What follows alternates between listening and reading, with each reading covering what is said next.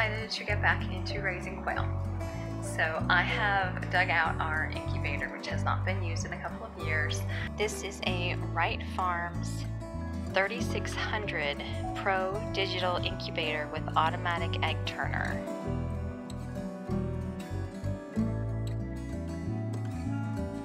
Uh, because the cheapest route to gaining any kind of new poultry is the egg route.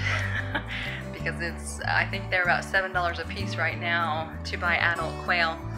So we are going to buy some eggs probably maybe three or four dozen and get started that way. So I've got the incubator up and running just to make sure that it's still working properly. The temperature and humidity gauges are not accurate. So I've actually got some extra thermometers and hygrometers in here to gauge the temperature and the humidity because I kind of want to get an idea of how far off these gauges are. So I've actually got this set at 104, which is the highest that this will set at. Because when you look over here at my thermometer, I've got, it's only showing that it is about 95 or so. And 104 is the highest that I can set this, so I don't even know if it's going to get up to 100 where it needs to be. The humidity here shows 67, but this one that I put in shows that it's about 72, so it's a little bit off as well. We've got two minutes left on the countdown to see whether or not the turner still works. I have not seen that turn yet today. The power actually flashed off a few times today because we had a little bit of a pop-up storm come through. And every time the power would go out, it would reset this number back to two hours.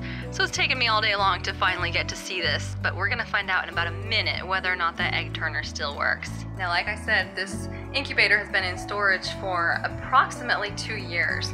So it was kind of dirty and I had to clean it all out and sanitize it, but um, so far, I mean, I'm impressed that it's actually working as well as it is. so if the turner works, that would be great.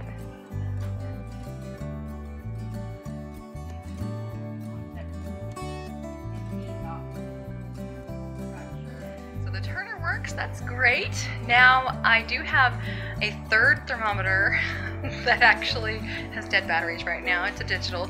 So I'm going to pick up some batteries for that and see what that shows as far as the temperature goes. Because if I can't get the temperature up to 100, I don't know if it's going to work to hatch anything. So 95, 96 degrees, I don't think that's going to cut it.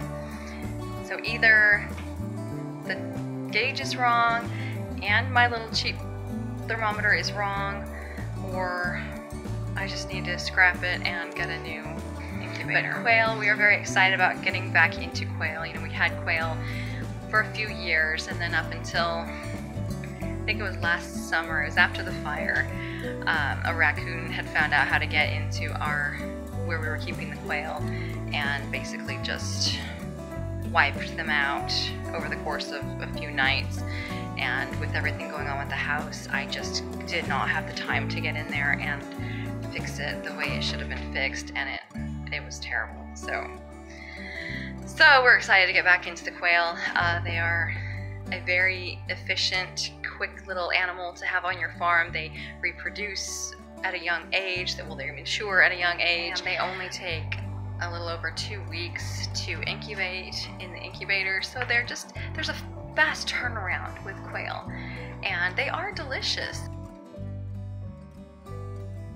They actually are really easy to clean, easy to butcher. You know, they're small, so you have to eat more quail than you would like a whole chicken or something. But um, but they're easy and fast, and that's what we like about them. So I'm excited about getting back into quail. This was one of the more natural habitats that we housed the quail in at one point, and I really enjoyed this because it was really fun to watch the quail in something more natural to them, the way they run and hide and and it was just a lot of fun watching them in this sort of environment. It definitely makes it harder to collect eggs though because they tend to hide the eggs and so every day turns into an egg hunt. But it was definitely my preferred housing method for the quail just because I felt like they were happier in this sort of environment.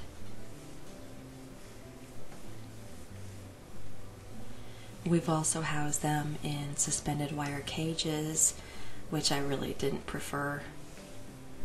And then eventually we built some this long cage that goes alongside one of our barns and it actually worked pretty well. So that's where we're going to house the quail now in the future as well.